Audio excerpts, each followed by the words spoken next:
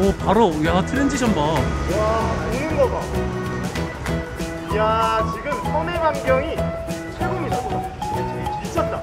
이러면은 이게 가장 좋은 형태예요. 이야. 사실 이상적이라고 할 수 있는.